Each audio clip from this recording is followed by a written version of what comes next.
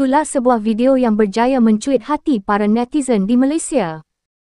Di dalam video tersebut memaparkan, seekor anak babi dilihat tersesat di atas lebuh raya.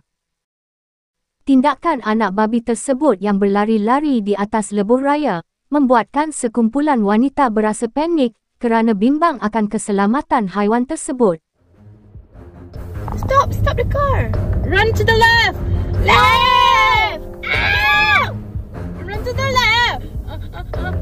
Dia ke? Okay, okay, biar dia lari pergi. Biar dia lari pergi. Go. Okay, go. Go. Go.